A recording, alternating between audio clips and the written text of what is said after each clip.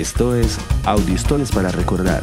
Durante 30 días te presentamos las audiohistorias más destacadas en todas nuestras redes sociales.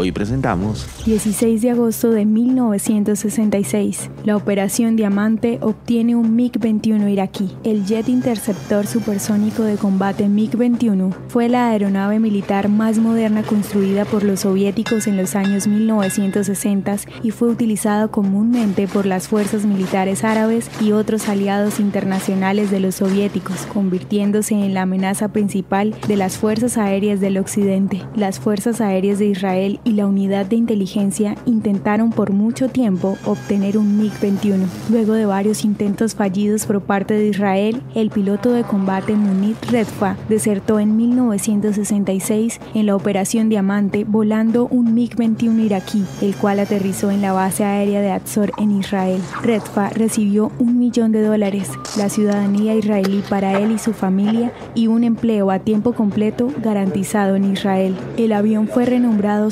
007 por las Fuerzas Aéreas de Israel y proporcionó a Israel una inteligencia invaluable e información técnica fundamental para los futuros avances de la Fuerza Aérea Israelí. Este acontecimiento militar fue el tema de la película Robar el Cielo.